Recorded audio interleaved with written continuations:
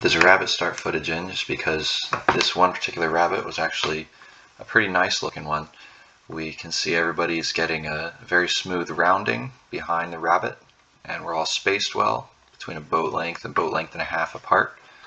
And so this gives everybody the same even chance of doing well in the drill as we start out. We know that if we if you miss the rabbit by a little bit, then you're you're kind of already at a disadvantage in the drill. You're not getting as much out of it, and it means that everybody else isn't getting as much out of it as well because we're just one more boat down. Uh, so we know the point of our uh, wind sprints that we're doing here. We're simulating the first 30 seconds to a minute off that starting line. And so we have kind of two thoughts in mind as we go through this. One is we want to make sure that we don't fall down into the boat to leeward of us. Uh, so we need to have a high mode. And the other is we want to make sure that the boats above us to windward of us don't drive over top of us. And so we need to have a low mode. And those two uh, those two modes are, are not very far apart. They're a few degrees, you know, where the high mode is maybe where we're pulling our jib, strapping our jib in just a little bit more, just another degree or two higher. Uh, and the low mode is maybe we're just easing that jib a little bit, uh, and it almost doesn't look visibly any different. That's just how much, uh, how, how tight we're pulling those sails at the, at the very end. Um, but it, it does allow us to have a very big effect on what our boat's actually doing.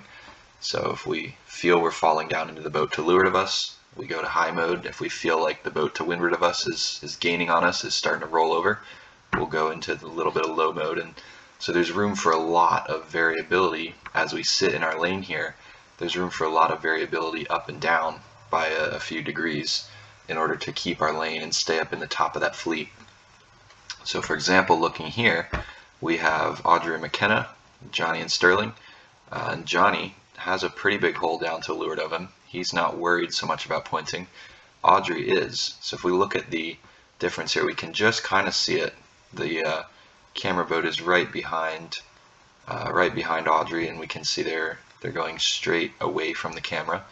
Uh, Johnny and Sterling, or Johnny and Daniel, rather, are, uh, are are down a few degrees more. You can we can kind of see the angle difference there, um, pointing away from the wind a little bit just a little bit more. And so they're just focused on their boat speed right now. They're sailing close hauled.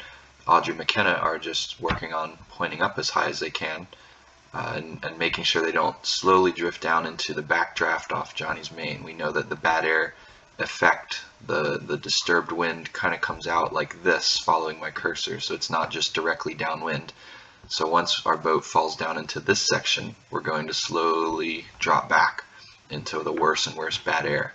Just keep an eye on the relative placement of all these boats as we do have Johnny is uh, Johnny is kind of in a tight spot here because he doesn't want to point too high or Sterling's going to be able to drive over top of him. But if he points too low, Audrey is, we can kind of see this is happening in real time. Audrey's pulling in front of him and he is getting that backdraft off of Audrey's sail and just between the small combined effect of little bit little bit of uh, bad air from Sterling, little bit of backdraft from Audrey McKenna, we've been able to watch Johnny just slowly drift down here. Uh, and and you know from the start he looked okay. He was sitting there, but just both of them were just barely able to reach out and touch him, and he is no longer in the top of the fleet there. And uh, yeah, not not sure what's up with this.